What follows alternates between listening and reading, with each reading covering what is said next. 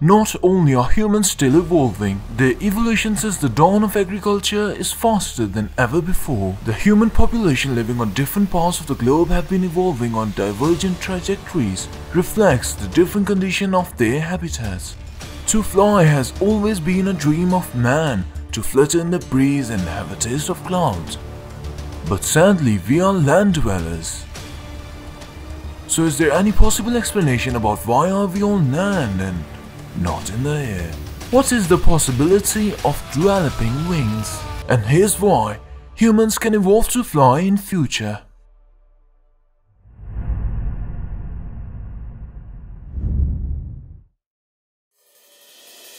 We need to look back in history and evolutionary events to know how and why flight evolved. Evolution is limited by developmental and genetic constraints.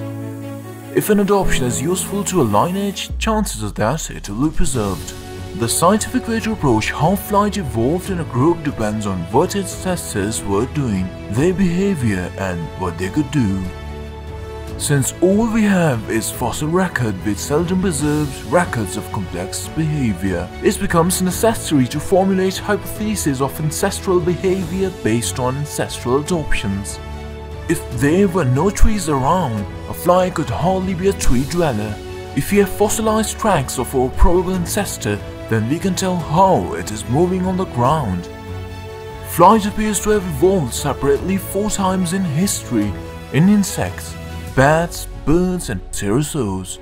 These four groups of flying animals didn't evolve from a single flying ancestor. Instead, they all evolved the ability to fly from separate ancestors that couldn't fly. This makes flight a case of convergent evolution. But the main fact is that we could have evolved to fly if ancestors before Homo sapiens adopted the same behavior as the flying mammals did.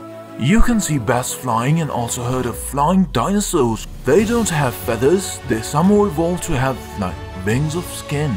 That's only for what we didn't do, but now let's see what we can do and what is the possibility that we could evolve to fly in future.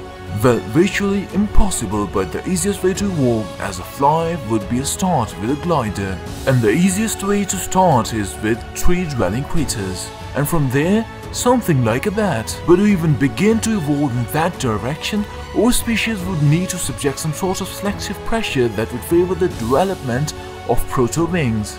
To evolve with useful wings, we would also need to become smaller, lose most of the muscle mass in our legs and nearly all of our teeth in order to just be light enough.